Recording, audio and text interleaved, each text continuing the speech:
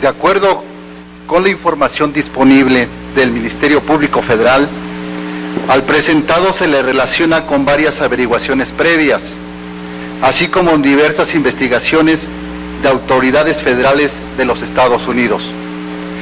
A continuación se van a presentar los objetos asegurados.